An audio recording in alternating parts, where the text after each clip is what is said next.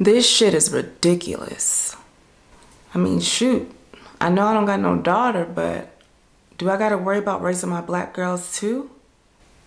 Say her name. I'm Love Nafi and you're watching Diaspora Diary.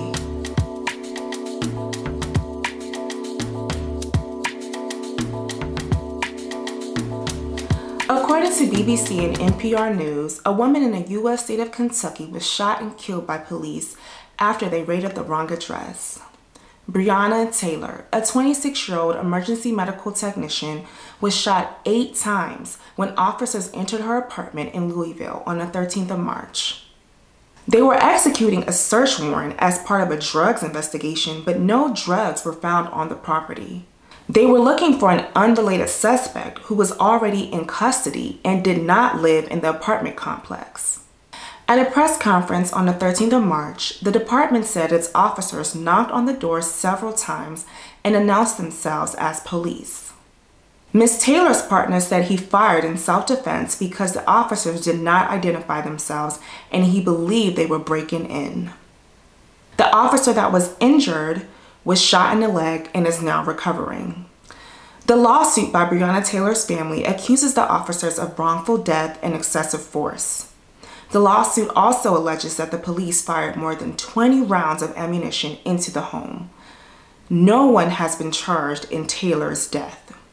There is no footage of the incident. Police say that officers in this unit don't wear body cameras. They were placed on administrative reassignment while under investigation. Walker was charged with attempted murder of a police officer and assault in the first degree.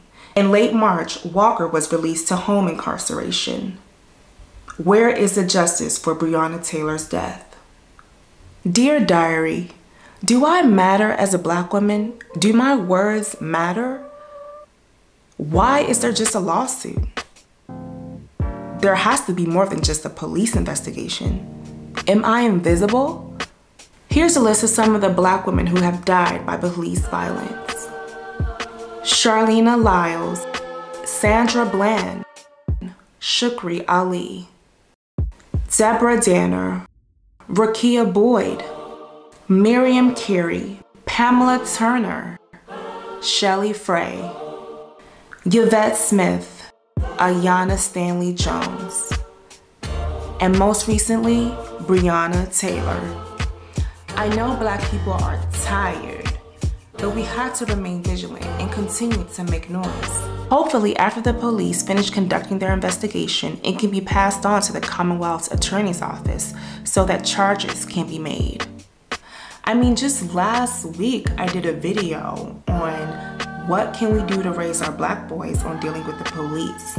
It talked about Ahmaud Arbery, among other men who have been killed in the past years because of police violence. And now today, as we discuss some black women whose lives have been lost, we bring up some similar themes.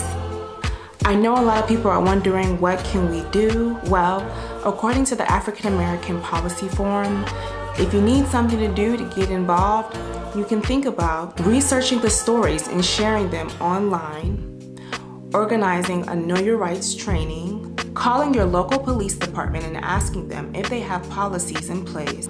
You can also write, call, or email the U.S. Department of Justice Community Oriented Policing Department and urge them to fully adopt and implement progressive policy. We must get others to understand that we are not invisible.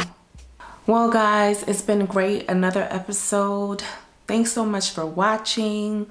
Um, as you all know, my name is the Love Nafi. You can find me on all social media outlets at love underscore Nafi. Remember that videos are going to be on my channel every one to two weeks. I'm trying my best, my hardest to make it every one week. Um, but just stay tuned. Definitely no more than two weeks. You'll be getting some content from me. And always remember that we block together please leave your comments, questions, suggestions in the comment box below. I love you. I thank you. Bye bye.